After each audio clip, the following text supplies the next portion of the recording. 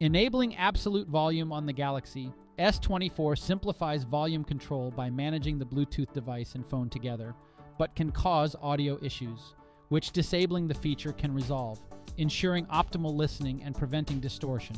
Here's how you enable or disable absolute volume. To begin, pull up the app drawer and tap Settings. Scroll all the way down and tap Developer Options.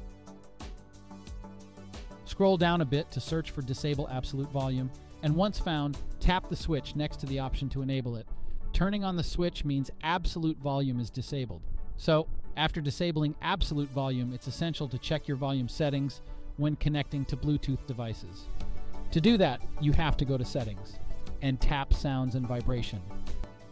Tap Volume, and then adjust each slider to optimal level depending on your needs.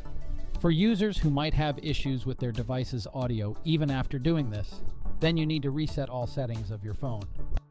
To do that, open Settings once again and then scroll all the way down and tap General Management.